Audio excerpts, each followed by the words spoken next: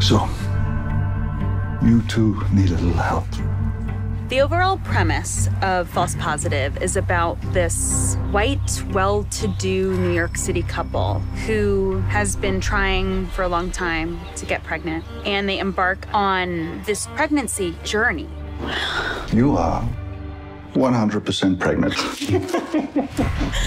We are specifically exploring the horrors that come up in this world. It really is a scary experience from the inside out. This film is not necessarily a genre film, it's a psychological satire. Brilliant. I wanted to create a woman who assumed that her life was more empowered than it really was. Am I gonna be one of those women who has it all?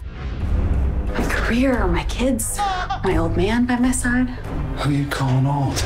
Lucy, to me, is an Instagram liberal, you know, like someone who has a lot of privilege and slowly wakes up to a reality that she's been kind of pushed into that she didn't need to participate in. I'm having the wildest mommy brain lately. I'm not crazy. They're trying to make me think that I'm crazy. The frame we're widening out to in reviewing the power structures that run this world are a lot. There's a lot of voodoo out there.